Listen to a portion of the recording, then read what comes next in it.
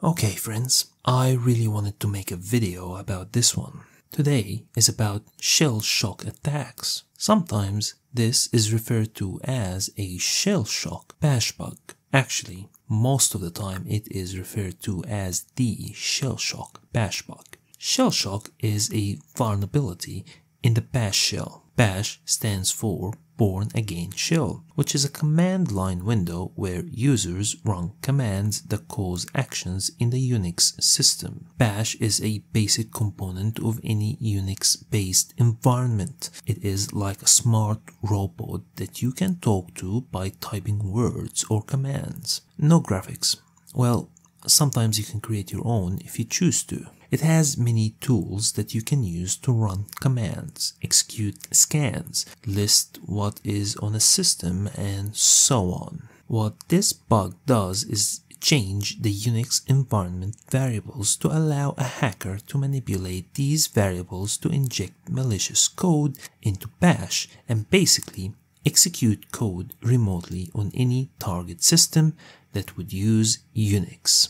Hmm, sorry, I know that was boring. Okay, let's explain this using analogy. Imagine your computer is like a very fancy house, and the commands you give it are like telling the house what to do and how to do it. Many people like to buy this type of house because it has many functions and is basically a smart house. So people love it. Now think of Bash as a special butler inside your house, maybe like a robot butler. This robot takes your commands and does what you want. One of this robot's tools is a bucket. Let's call this robot Bash. Remember?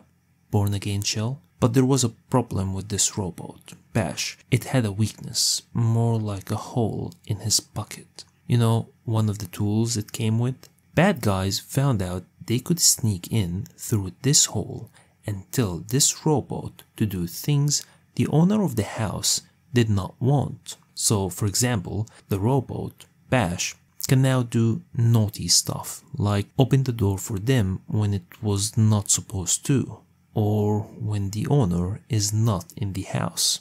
Remember, the fancy house is your computer. And if this happens, bad people can just run things remotely inside your house or in this case your computer. Now because people liked this type of smart houses aka the computers that run bash this meant that a lot of houses were not safe when this bug was discovered because many people owned this type of houses. Now the good people who take care of such houses quickly fixed the hole by giving the robot a special badge, like fixing the hole in the bucket. And then they told everyone to update the robot, you know, bash, so that the bad guys couldn't use the hole anymore. So what do we learn from this? The lesson here is that sometimes the tools we use to talk to our computers can have problems but the good people who take care of our computers are always working to keep us safe.